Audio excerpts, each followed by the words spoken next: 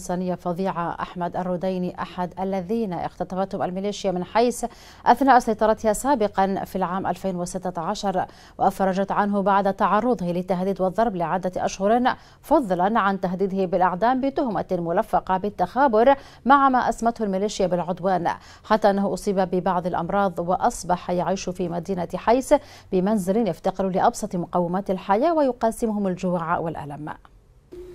يا أخي الحوثيين أخذونا من داخل مديرية حيس من مديرية حيس الساعة 12 وأنا في المطعم. في حالة وأنا دخلت أتغدى في المطعم وهم أخذونا من داخل المطعم وشلونا فجأة كذا لا أدري فين. وألقوا علي القبض. تمام؟ وغطوا على عيني. وأخذونا لمكان لا أدري فين. يعني من الساعة 12 ظهرا إلى الساعة 6 مغرب.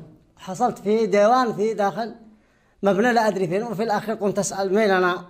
قالوا أنت في الحديدة أنت في بيوت سرية أو ك... تمام ما هوش حتى سجن أساسي ولا شيء بيوت سرية مخفية أنا طالع الساعة 6 وين أنا؟ قالوا أنت وأنا مغطى ما زلت أتكلم وأنا مغطى أسمع صوت في العنبر أو أسألهم منهم أنتم؟ قالوا إحنا سجنا وأنت مسجون عندنا وزلت مغطى من الساعة 6 بل أو الغتره حق يغطوا لما الصباح فوق العيون. لا أكل لا شرب لا أدري على إيش بالزنا هكذا. واحتبست شهرين وأنا في معانا وضرب وتحقيقات وبهدلة. يعني في اليوم في, الليلة, في الليلة الواحدة يخرجون خمس مرات ست مرات.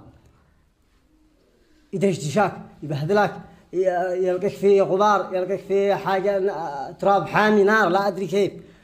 يبي يسلبك الثياب يسلبك كل حاجة تخرج حالتك حاله وهذا الساعة 12 في الليل وسحبك وتعذيب وبهدله وجوع وشمت. معانا لا كده شفت لا في الدنيا ولا في الآخرة هذه معانا معانا جدا.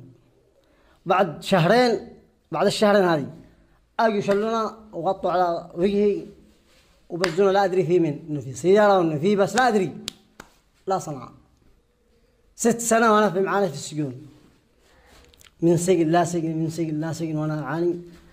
يعني لا أجد حاجة أنا فقير لا أجد شيء ولا علي أي قضية هكذا بزونا هكذا عين عينك ولا معي أي. لا يسألون شيء بزونا هكذا عدوانا هكذا يعني همجية. حكموا علي بإعدام. أو حكموا علي بإعدام قدام يعني ما بين ثلاث سنوات وعاد أنا مسجون هناك. ورجعوا بعد الإعدام رجعوا قالوا خلاص أدفع كذا كذا مبلغ. قلت أنا ما جيت لا مبلغ ولا معي شيء أنا. أنا فقير لا معي شيء أنا. يلا أنا ما اشتري دحين كيف أسرتي لما خليت احتبس لا أدري.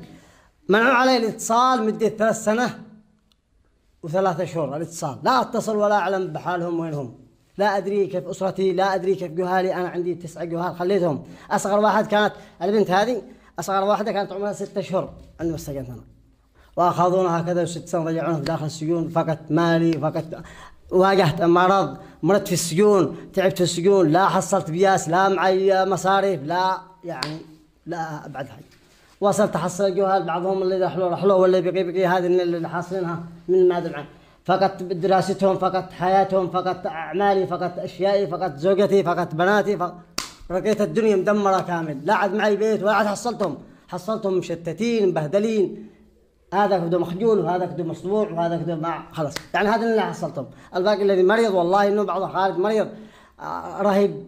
جنه حالة نفسية من كثر المرض الحين خلاص على السرير. كبير حقوم على السرير الآن. هو الذي كان يعني كذا متونس وقت ينفعنا ضكوا على السرير موجود ما زال في البيت حقه. تعبان. وهذا الناس اغلبهم يعني لا بقي لي شيء. هكذا ضيعونا وضيعوا حياتي وضيعوا مستقبلي وضيعوا باطل. إيش يشو مني